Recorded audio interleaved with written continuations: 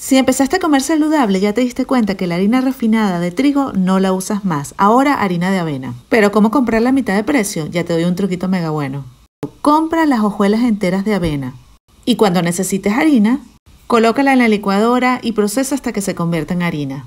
En solo un minuto vas a tener una harina de avena perfecta y económica, con la que podrás hacer tus mockcakes, tus galletas y panes, y siempre tendrás tus hojuelas si te provoca una avena.